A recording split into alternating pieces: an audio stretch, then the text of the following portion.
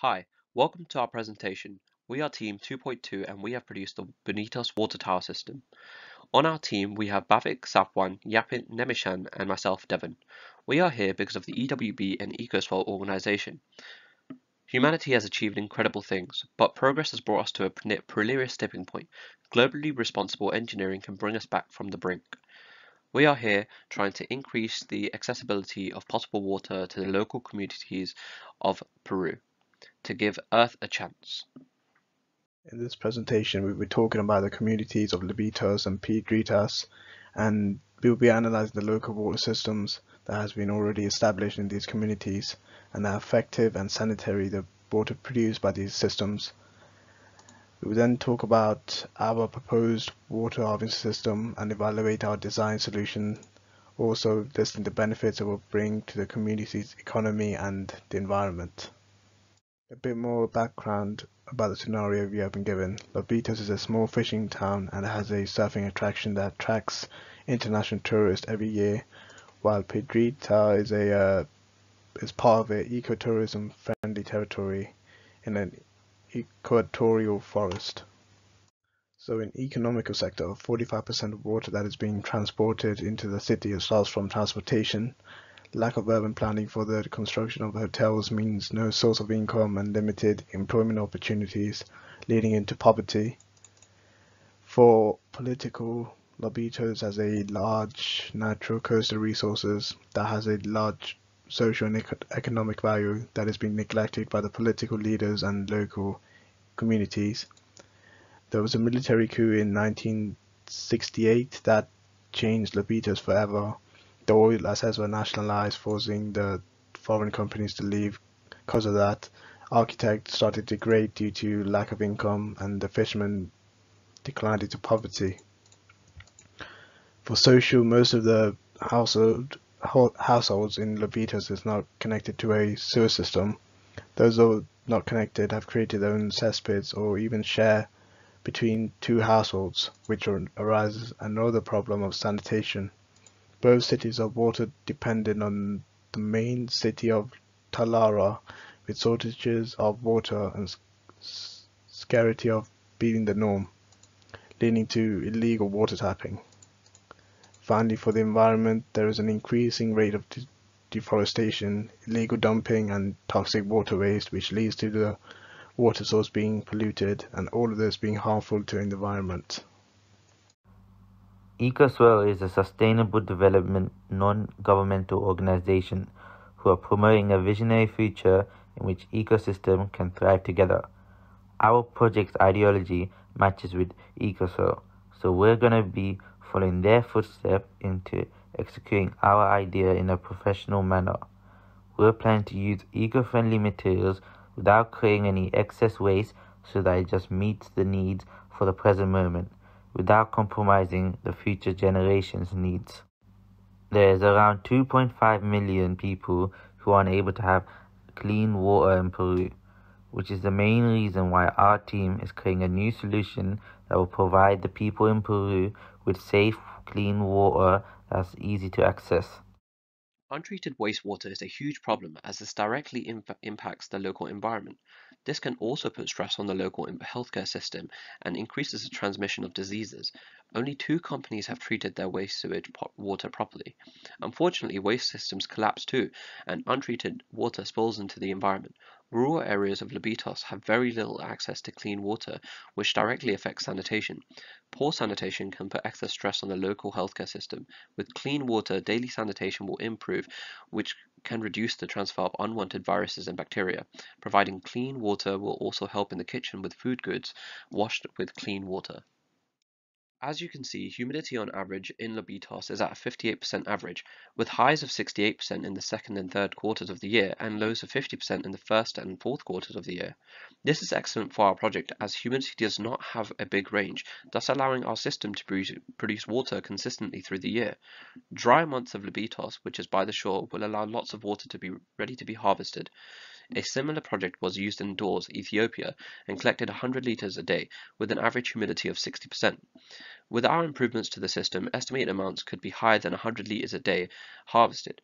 This access of clean potable water could save money for the locals as the water will not need to be treated.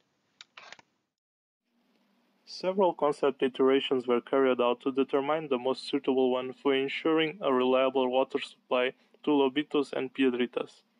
The first and subsequent design iterations were inspired by the Warka Water Tower project as well as the regional area of Peru. The first design's focal points are the bamboo structure and the fish head showpiece at the top of the tower.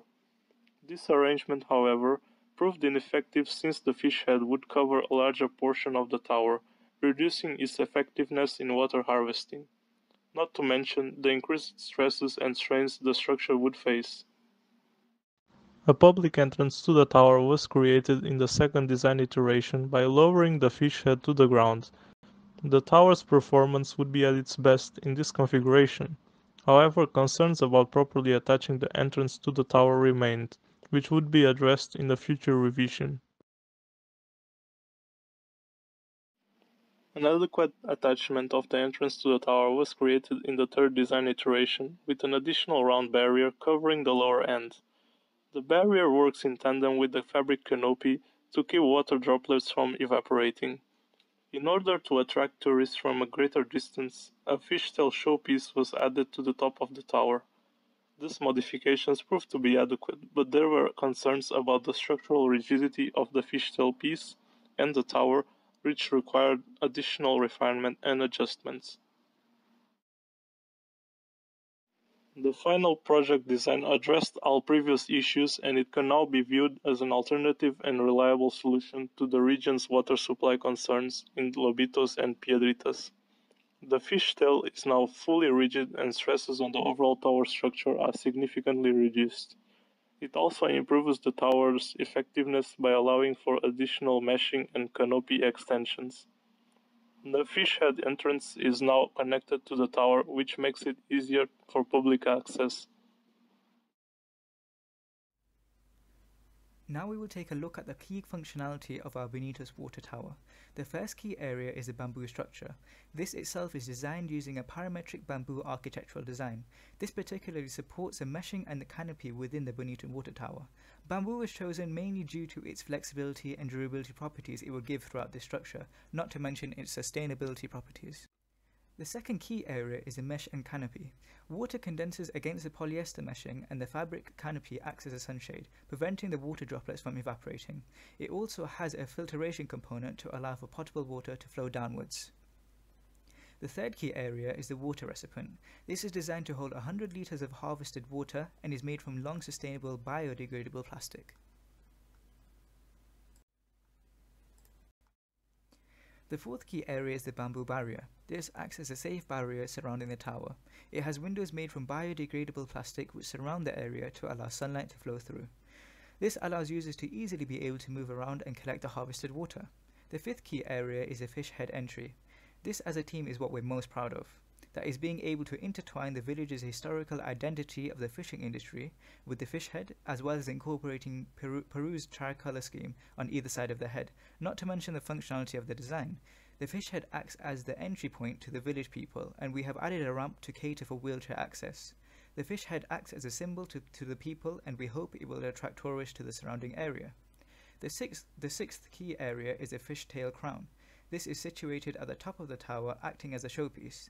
The tail benefits the tower from preserving its rigidity and strength, which we hope will improve the watering, water harvesting capabilities as a whole. With the water collection system in place, there are multiplier effects that are caused by the successful usage of the water collection system. Since the tower is a better, cleaner water source, this means that there's a lower risk of people falling ill from, con from contaminated water. This means there will be less expenditure on healthcare as the people are less likely to fall ill.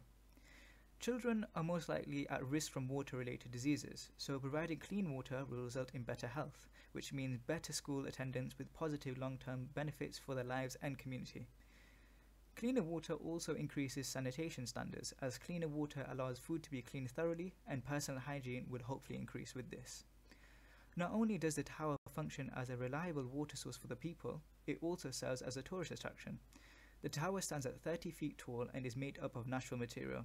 It is also a monument for the fishermen as it is shaped like a fish, as shown in the previous designs.